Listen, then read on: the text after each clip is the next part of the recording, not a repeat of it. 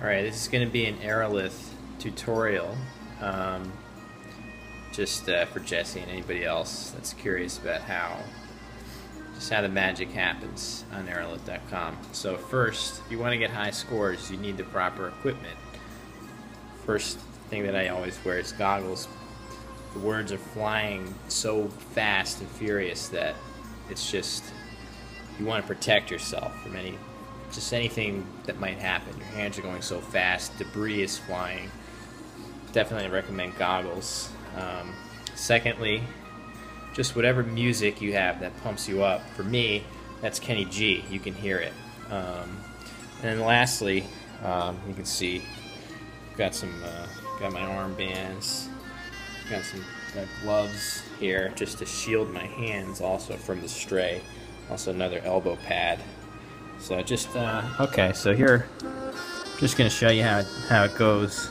I'm gonna do the two-letter words, which I think we all know. It's one of the tougher challenges that can be done. So here I go.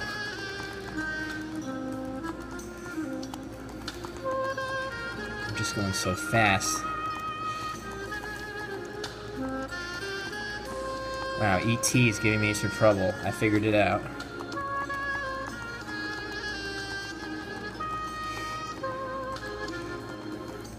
Here I go. What's the anagram of on? Okay.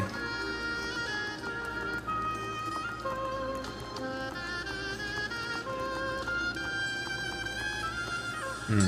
So let's see how we did on the on the ranking here. And uh, you can see, I'm not sure if you can see, but that's definitely me in first place yet again.